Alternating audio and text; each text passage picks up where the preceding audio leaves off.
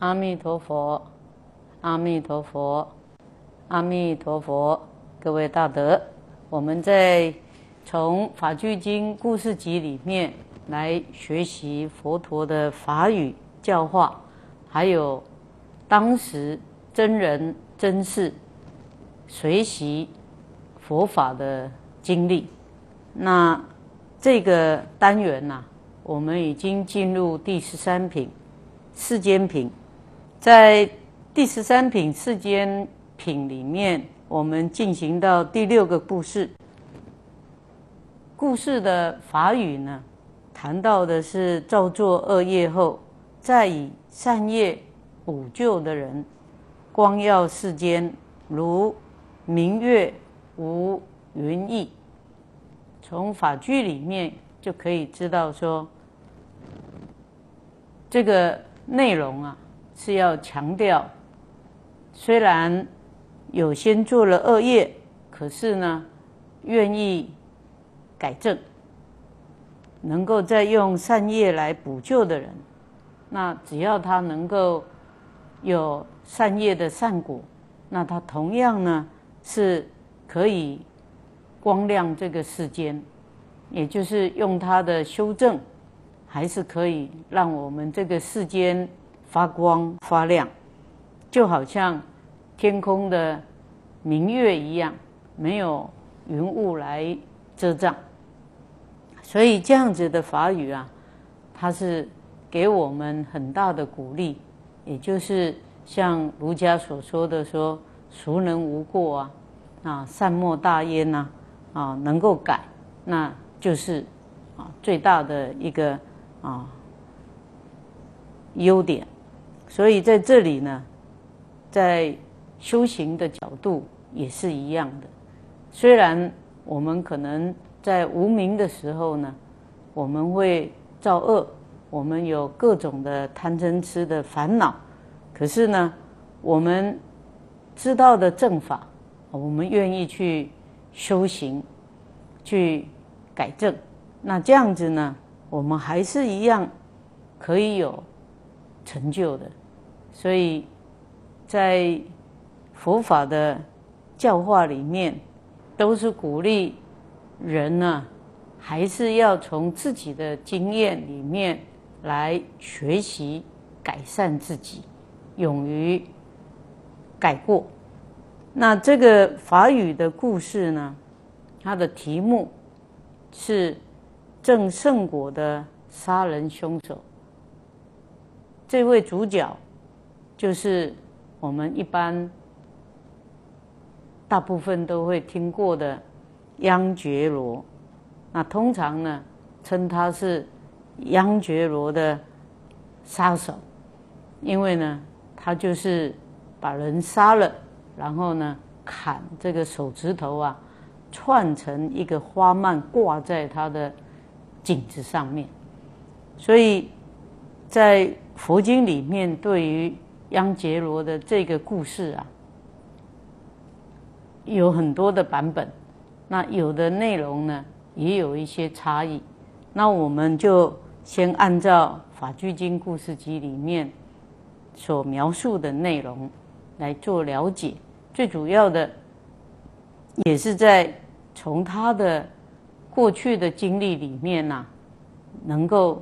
改正他的恶行。那最终呢？他也证了阿罗汉果，所以在故事的一开始呢，先提到的是央杰罗的本名就是阿伊萨卡，那这个名字呢，其实也就是非杀害，也就是不杀害这样的意思。那他出生在一个婆罗门的家族，他的父亲呢是。乔萨罗国波斯匿王，他宫廷里面一位祭司啊，那他的父母亲呢，也是苦心的要教导他，只是因为呢，他们的家族是婆罗门呐，所以呢，他们也没有真正学佛，所以呢，就送他到坦萨斯罗，就是印度的北方的地方啊，就去。接受啊受教。那当时他的这个老师啊，算是在印度啊，以佛法来说啊，啊当然是属于外道了。可是内容是学什么，我们就不是很了解。只是呢，这位央杰罗啊，他本来的名字是叫做阿伊萨卡，就是飞沙。那他个性呢，是非常的啊，就是良善，而且呢，他很聪明，对老师也非常的服从，所以呢，他得到老师跟他的师母啊，就是非常的喜爱。那也因为呢，他受到老师特别的喜好啊，所以呢，就引起了学生的嫉妒啊，所以呢。就向老师来诬告，说这位啊阿伊萨卡，他跟这个师母哦，就是他老师的太太啊啊，这个有不正常的关系呀。那这个部分呢，在不同的经典里面呢，也有不同的记载。有记载到的是说，这个老师的太太啊，其实呢。是对这位阿伊萨卡非常的喜欢，所以呢就想诱惑他，啊，所以这个是不同的写法。那总之呢，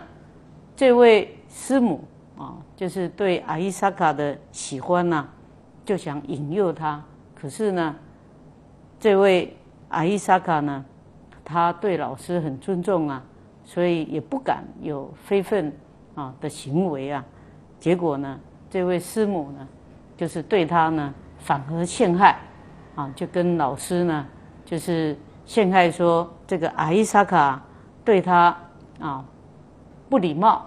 所以呢让他想要去自杀，啊，所以这两个的版本呢是不太一样，可是呢这个结局是一样的，也就是老师呢对这个阿伊萨卡。就产生了反感，那想要把他啊杀掉，可是呢，他又怕这位阿伊萨卡啊，就是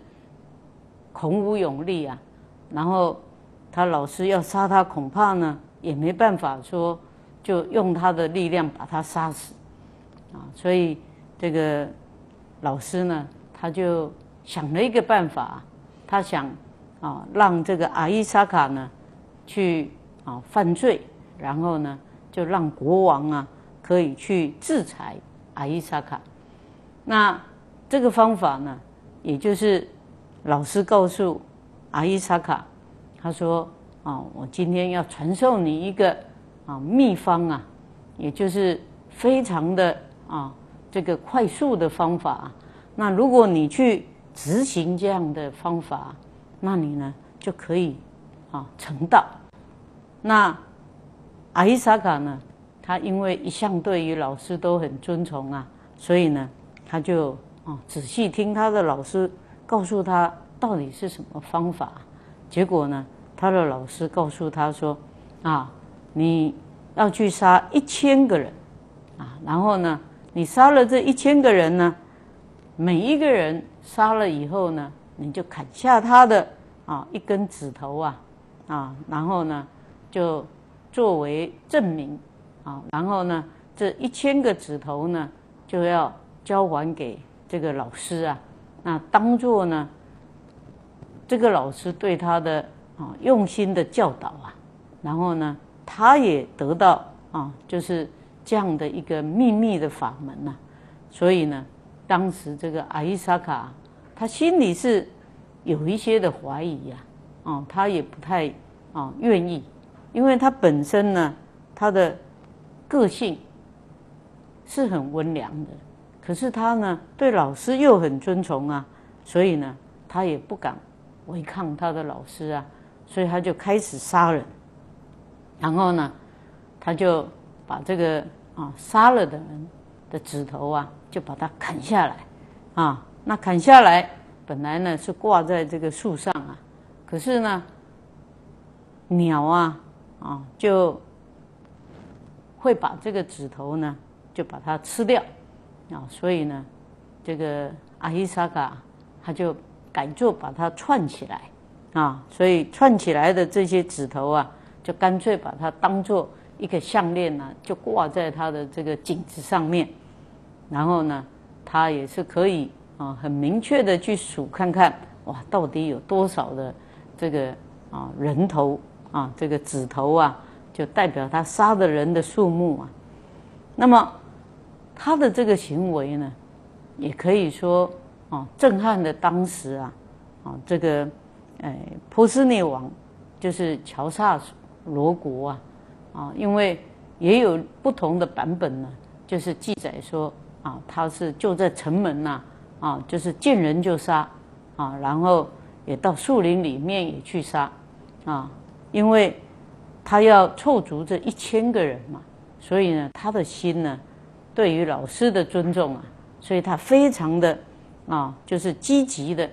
就是要赶快啊，就把他这个对老师的这个吩咐啊，要完成了，所以呢，他这样的杀人行为呢。啊，就是在这个乔萨罗国啊，就传出去了。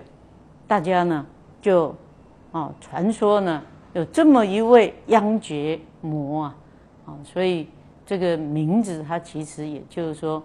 把指头串起来当做花圈的这样的一个人。那这样的人呢，实际上他的意思也就是杀人魔的意思。那他呢，就是。因为杀人杀了，好像自己本身呐，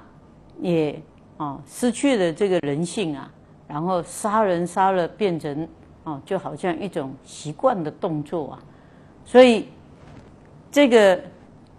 消息呢，就传到了这个国王那里啊。那国王呢，就知道有这样子的一个啊凶狠的杀人魔啊，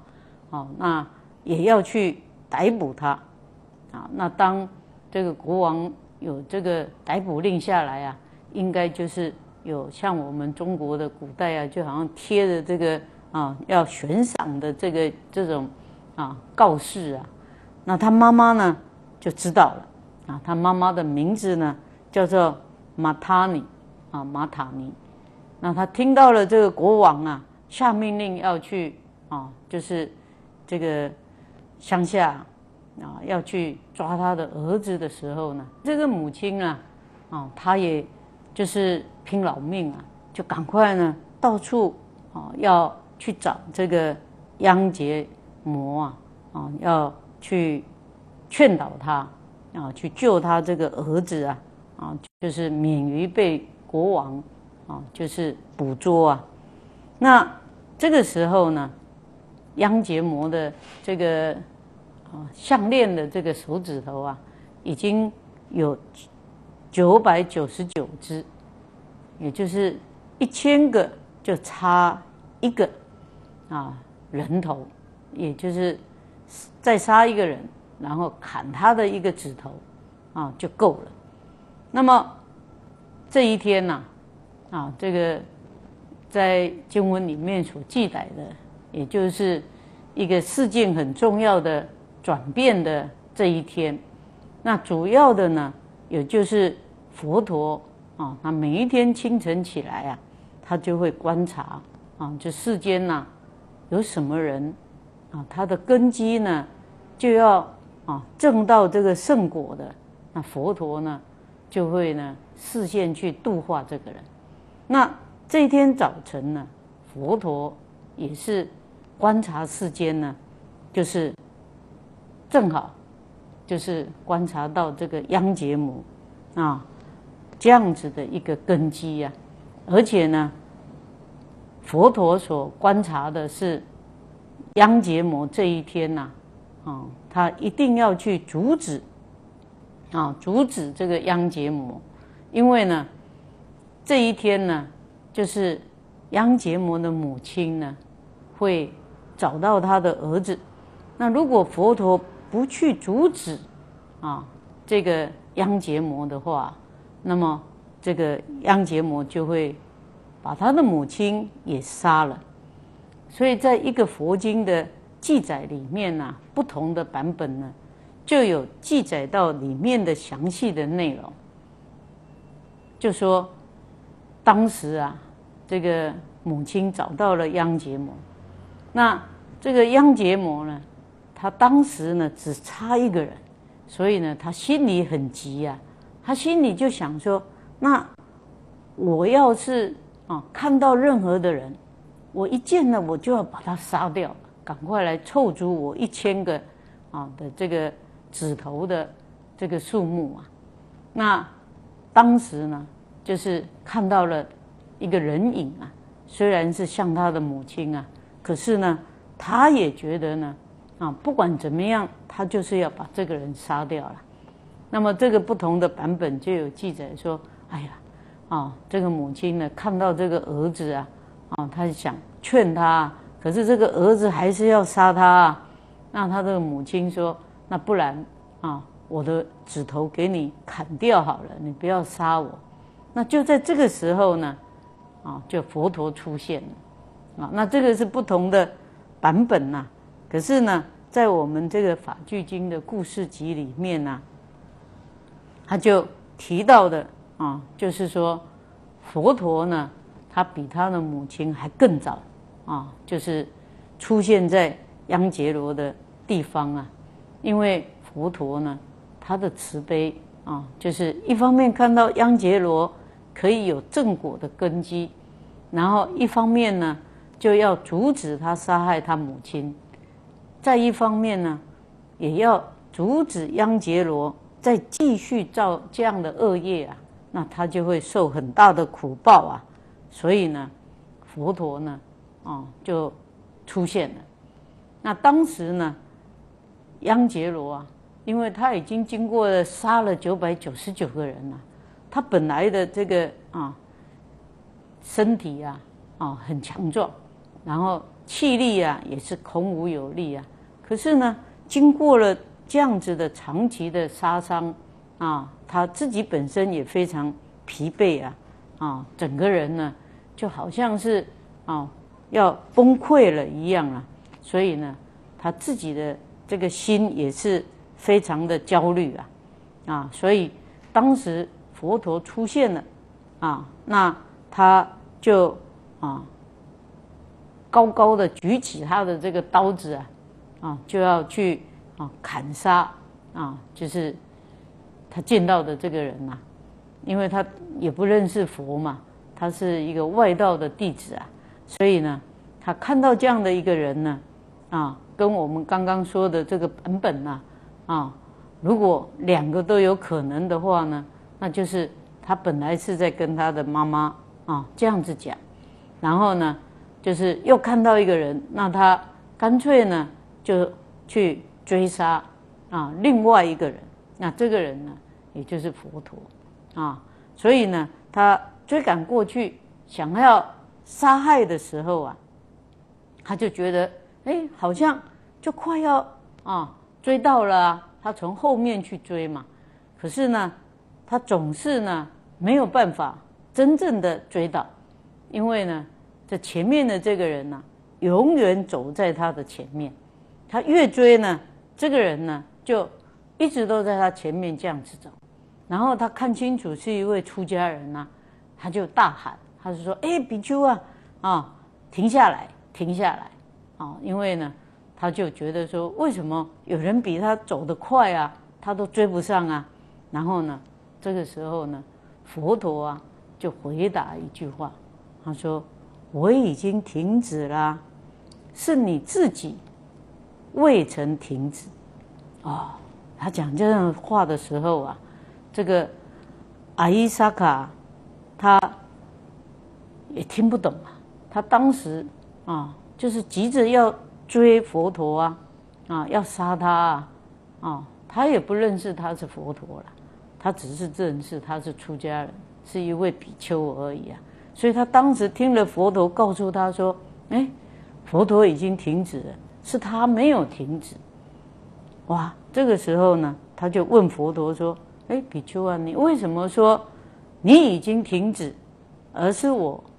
还没有停止呢？”那佛陀就告诉他说：“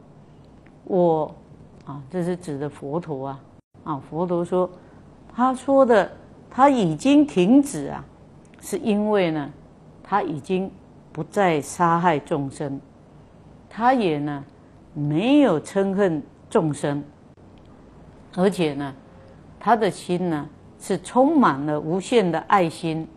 啊、耐心啊，还有智慧的。那反过来呢，佛陀说。而是你呢，还没有放弃杀害众生啊，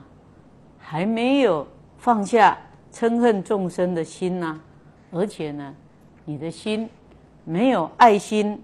啊，跟耐心，而且呢，你这样子的状态啊，是还没有停止下来，所以呢，这个就是佛陀啊，啊，这么有智慧的。话语啊，想要啊度化他。那阿伊萨卡这位央杰罗摩啊啊，他听了佛陀的话的时候呢，他心里也马上有一阵的这种啊感触啊，他就思考说：哎，这样子的话，应该呢是只有智者才能够说出来啊。这个比丘呢？他是很有智慧的啊，不是一般的人呐啊，而且呢，他非常的勇敢呐，因为他也不怕他杀啊，所以呢，这位啊央杰罗摩啊，他就啊思考说，这位比丘啊，一定是一位啊领导者啊，那他应该就是啊一般说的佛陀吧。那这表示呢，这个央杰罗摩啊，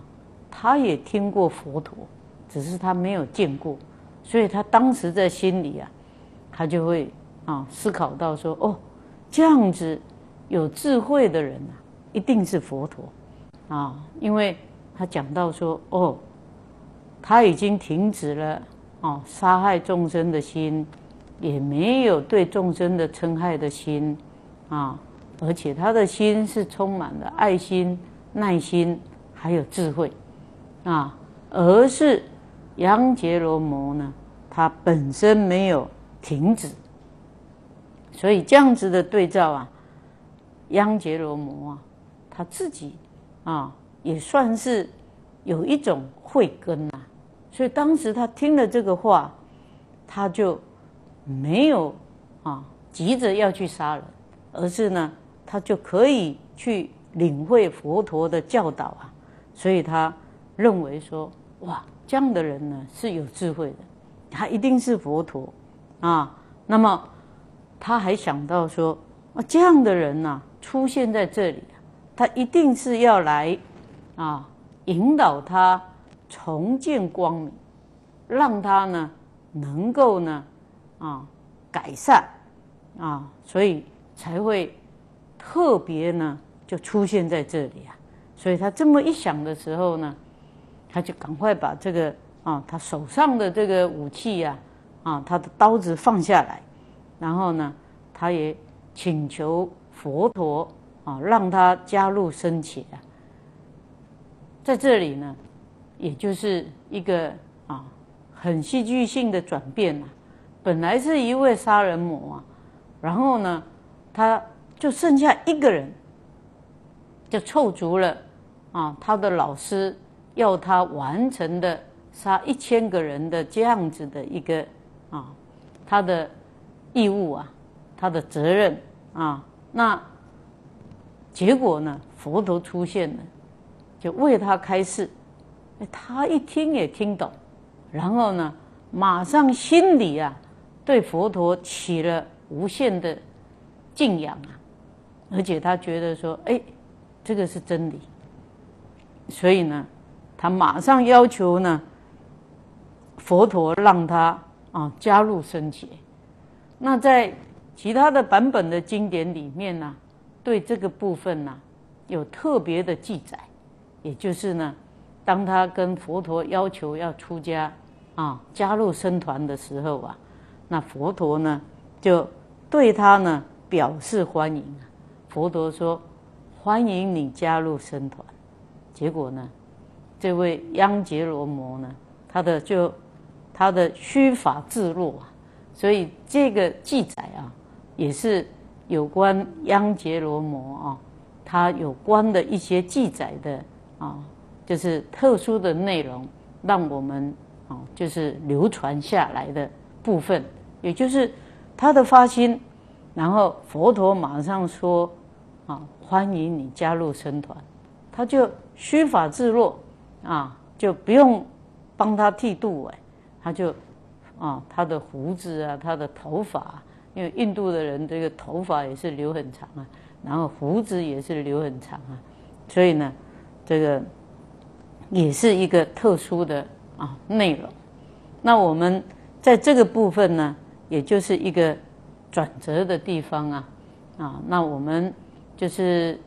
在这个单元啊，就是介绍了央杰罗摩啊，他从阿伊萨卡啊去杀人，然后呢遇到佛的教化而出家。那后面的部分呢，还有他啊努力修行，还有关的这个内容的记载啊，我们就等下一个单元再介绍。那我们让我们。啊，学习的功德来做回向，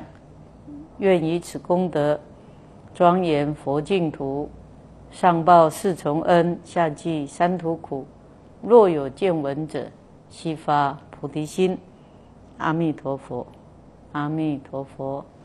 阿弥陀佛。